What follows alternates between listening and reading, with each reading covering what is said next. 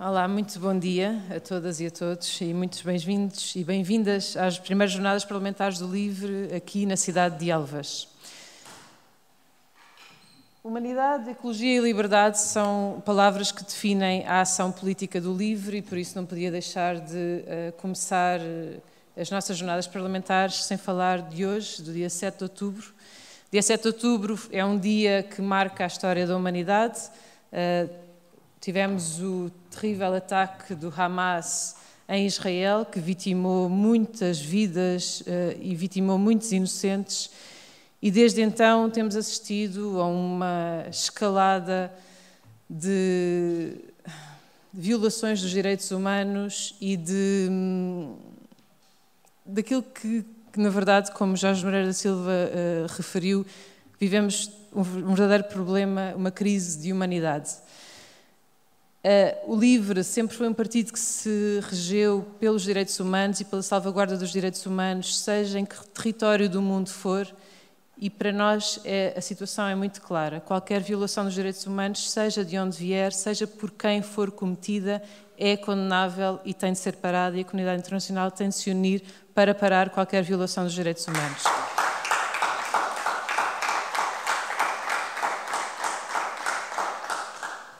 E por isso já vai muito tarde, mas é muito importante que toda a comunidade internacional se una para parar os ataques que o governo de Israel continua a, a cometer em Gaza e agora no Líbano. É muito importante que sejam soltados os reféns, que ainda são reféns do Hamas. É muito importante que seja declarado um cessar-fogo definitivo e é muito importante que seja encontrada uma solução definitiva para aquela região que impeça que novas violações de direitos humanos continuem a acontecer depois de décadas. Portugal tem aqui um papel muito importante. O livro tem uh, apelado a que Portugal tenha esse papel na comunidade internacional e vamos continuar uh, a apelar e a fazer pressão para que o governo de Portugal uh, trabalhe e faça pressão junto do governo de Israel para que estas violações de direitos humanos sejam paradas e que seja encontrada uma solução para uh, aquela região. É inadmissível o que tem vindo a acontecer desde no último ano.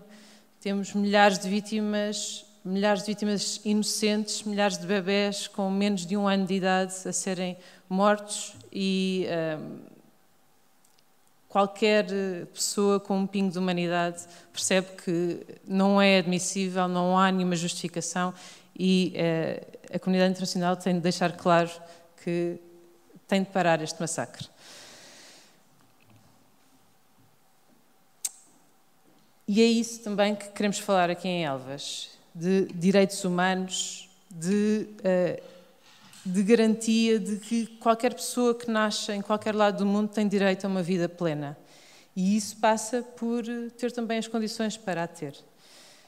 É difícil passar de, de, um, de um, de um cenário tão terrível como o que acontece no Médio Oriente aqui para Elvas, mas é isso que eu agora vou fazer. Uh, sendo certo que temos sempre esta questão dos direitos humanos e da garantia dos direitos humanos na, na nossa, nas nossas mentes e somos todos responsáveis pelo que acontece também do outro lado do mundo e uh, pela salvaguarda de todas as vidas uh, no mundo. Estes serão dois dias de trabalho dedicados a Elvas, ao Distrito de Porto Alegre e aos problemas e, também oportunidades que aqui existem e que são comuns com tantas outras regiões em Portugal. E nós queremos mostrar que existe uma outra visão para o país, uma, uma visão de transformação do país para um novo modelo de desenvolvimento assente uh, no conhecimento, na descarbonização, na ecologia e onde ninguém fique para trás e onde todos tenham lugar. E o que é que isto quer dizer? Isto quer dizer que é possível investirmos no conhecimento e na ciência de forma a ajudarmos a que todas as pessoas tenham uma casa, uma casa digna, a que ninguém passe frio no inverno, nem calor no verão na sua própria casa. É, é também dizer que, que podemos ter uma agricultura produtiva, saudável e que salvaguarde o nosso sol e a nossa água. É possível conseguirmos descentralizar a produção de energia para melhorarmos e criarmos emprego por todo o território é possível, enfim, termos um país onde a qualidade de vida esteja no centro da política. E esta é a visão do livro. E não apenas a visão, mas também a forma de atuação. E é esta visão e a forma de fazer política que nos trouxe aqui, que, que nos tem feito crescer em todo o país, que nos trouxe um crescimento para termos um grupo parlamentar que nos permite estarmos aqui nas nossas primeiras jornadas parlamentares e também que nos permite ser a imprescindível equipa de apoio do livro no Parlamento. E por isso eu queria aproveitar também para deixar um enorme agradecimento a todas as pessoas que connosco trabalham no Parlamento e também às funcionárias e funcionários do livro e que tanto trabalham e que dão de si. A criação do Passo Ferroviário Nacional, o alargamento do subsídio de desemprego a vítimas de violência doméstica, o projeto piloto da Semana de Quatro Dias, a criação do programa 3C Casa, Conforto e Clima, foram conquistas do livro para o país e foram possíveis graças ao vosso trabalho e por isso muito obrigado.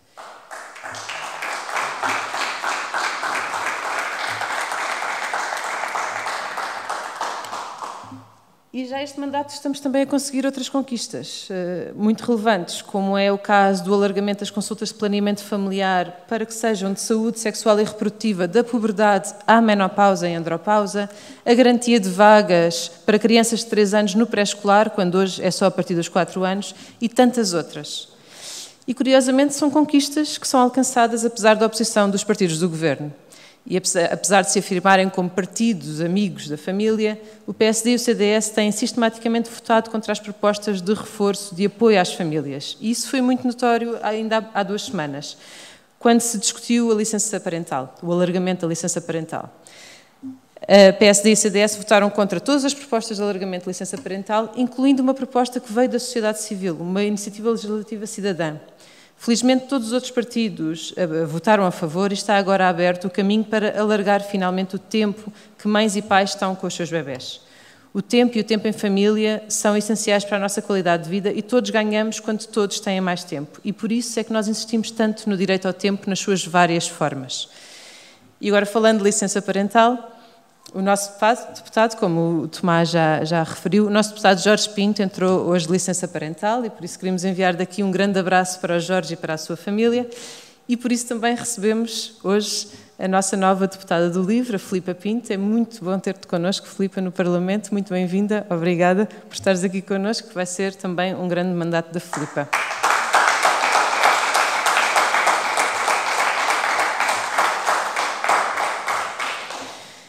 E hoje vamos reunir com a Associação Empresarial de Elvas e amanhã vamos visitar o Centro de Ciência do Café e a fábrica da Nova Delta em Campo Maior.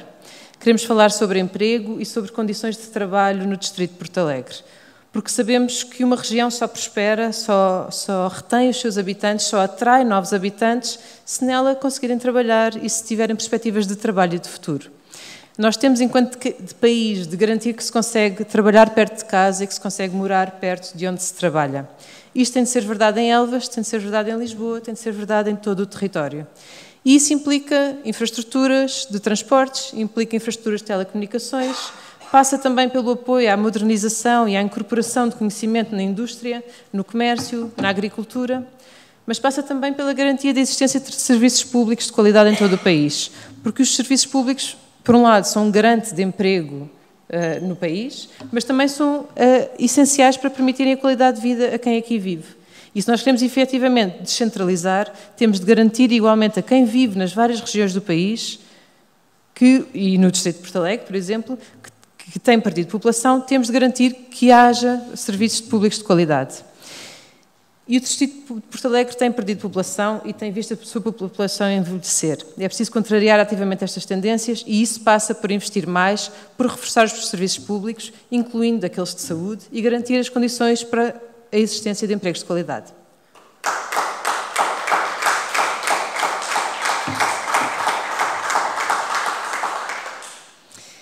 Isto também se faz promovendo o mercado de proximidade e garantindo que pequenos e médios produtores têm um lugar justo nos mercados e que não são esmagados pelas grandes superfícies. Isso acontece e é muito visível nos produtos agrícolas, por exemplo, e não pode ser.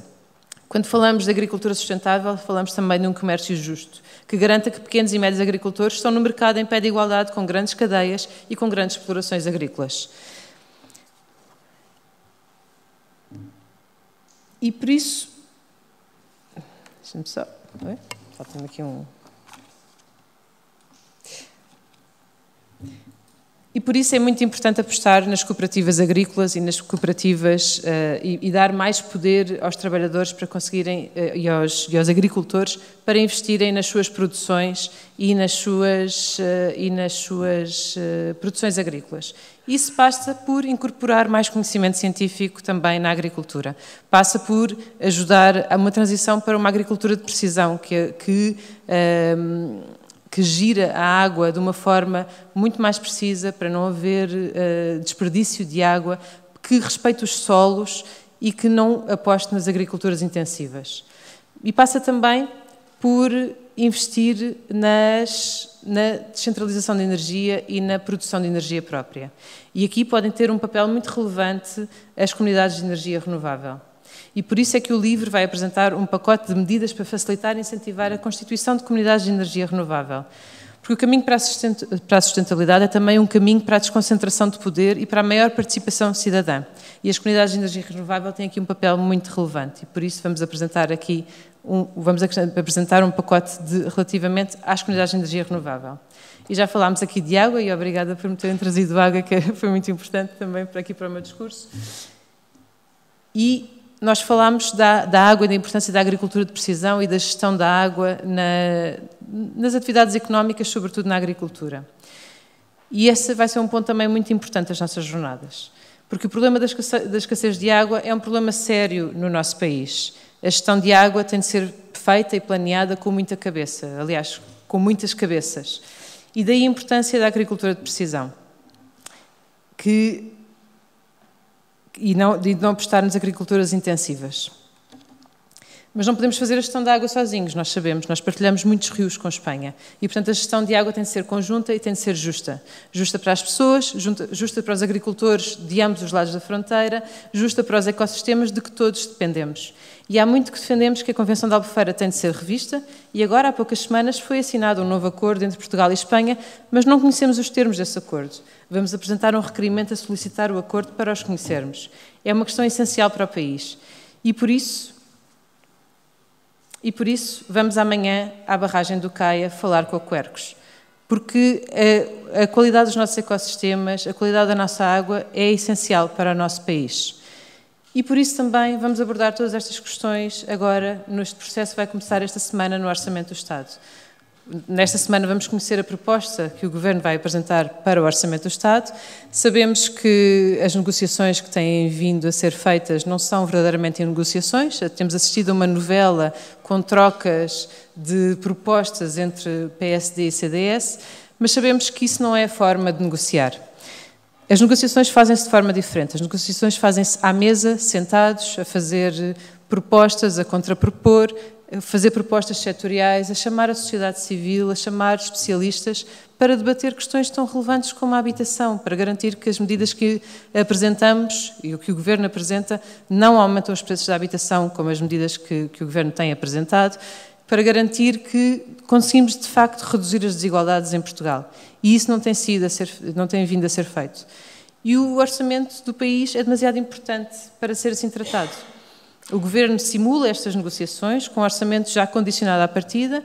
Foi isso que nós dissemos nas duas reuniões que tivemos com o Governo, apenas duas reuniões, e onde apresentámos também propostas alternativas, propostas estas com que vamos insistir. Por exemplo, aumentar o abono de família, porque é preciso erradicar a pobreza em Portugal, a pobreza infantil, especialmente em Portugal. Apresentámos também a proposta de implementar uma herança social que permita que todas as pessoas comecem a sua idade adulta de forma igual, com igualdade de oportunidades. Também apresentámos propostas para garantir a transição ecológica e apostar na, na, agricultura, uh, na agricultura sustentável. Estas têm de ser as propostas que norteiam as nossas políticas e que são as propostas verdadeiramente de humanidade, ecologia e liberdade. E é isso que levamos e que vamos levar, quando vamos continuar a levar ao Orçamento do Estado e ao processo de Orçamento do Estado.